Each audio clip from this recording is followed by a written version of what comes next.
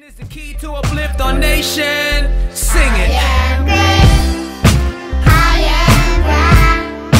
I will always give the best of me. Thank you, Lord, for blessing me with love. I love, love, love, love you. I love, love, love, love me. I know anything is possible with love. Hardships in our society. Drunk fathers battling with sobriety. Teen mother still single, thinking why me? She sells her body to escape dire poverty. And I know what you're thinking, that's nasty.